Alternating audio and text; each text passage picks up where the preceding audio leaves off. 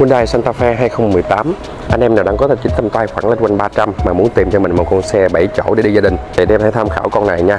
Đó mâm lớp này kia là còn nguyên bản theo xe hết nha anh em. Đét lớp là 2018 nguyên zin luôn. Và con này thì lăn bánh mới có 57.000 cây anh em. Bảo dưỡng đầy đủ cho anh em luôn ha. Màu đen biển số tỉnh. Bản này là bản full xăng nha anh em hai cầu luôn. Đó phía sau xe thì có cam ve nè có cảm biến nè rồi à, xài cúp điện luôn nha anh em. Đó có dán phim sẵn cho anh em rồi. Nói chung là anh em chỉ mua về và sử dụng thôi không cần phải làm thêm gì hết ha nè bản này bản full xăng cho nên là trang bị cấp điện luôn nha. Đời đó thì sẽ có hai phơm nha anh em. Một phơm mới và một phơm cũ. Còn cái phơm này là phơm cũ cho nên là chi phí nó rơi vào tầm khoảng hơn 720 tí xíu thôi.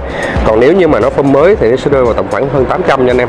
Đó, anh em nào muốn tiết kiệm thì mình có thể lựa chọn con này. Phơm cũ nhưng mà trang bị công nghệ khá nhiều anh em. Gần như là ngang ngang với con phơm mới luôn nha. Đó, nó chỉ thay đổi chút xíu về à, kiểu dáng về thiết kế thôi ha. Nhưng mà bên trong thì vẫn trang bị rất là nhiều công nghệ. Rồi, cho anh em xem cái chất vô lăng ha. 57.000 cây anh em, tích hợp rất là nhiều nút bấm cho này ha. Đầm thổi đánh tay nè, có điều khiển hành trình cruise control. Con này auto chuẩn nha anh em 57.000 cây, có trang bị ờ, chìa khóa thông minh nè, nút khởi động start up đàng hoàng ha. Đó, cho anh em xem auto chuẩn luôn nè 57.000 cây ha. Con này anh chủ giữ khá là kỹ anh em một chủ sử dụng từ đầu luôn nha, bảo dưỡng full sự hãng cho anh em luôn. Đó, có trang bị sẵn màn hình nè, tích hợp bản đồ, rồi ờ, có báo tốc độ này luôn ha. Điều hòa tự động hai vùng và khu vực cần số nè anh em, vẫn có thanh tay điện tử auto hold rồi ờ, có chức năng xí ghế luôn ha nội thất cũng khá đẹp anh em. Lăn quanh hơn 720 tí xíu thôi và anh em nào mua trả góp thì chuẩn bị dùm em lăn quanh khoảng ờ, 300 là mình nhận xe ha. Phía trước đầu xe thì sẽ có đèn tự động nè, gạt mưa tự động ha, có cả rửa đèn pha luôn nè.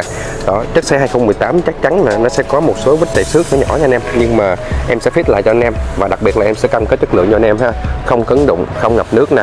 Anh em nào quan tâm thì cứ lên xem xe thực tế, nhờ người lên kiểm tra và nếu như mà anh em lấy con xe này về, anh em nhớ là đem vào hãng test một cái cho nó an tâm ha. Đó, nói chung là động cơ ốc ác sân si nữa kia là liền lạc anh em.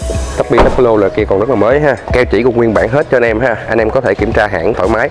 Đó, nhớ là đem xe vào hãng test một cái trước khi anh em đem xe về nhà. Và anh em nào quan tâm con xe này thì cứ comment trong video cho em ha. Hoặc là sắp xếp mình lên, mình xem xe thực tế. Còn ngoài ra thì em sẽ có rất là nhiều dòng xe cho anh em lựa chọn nè.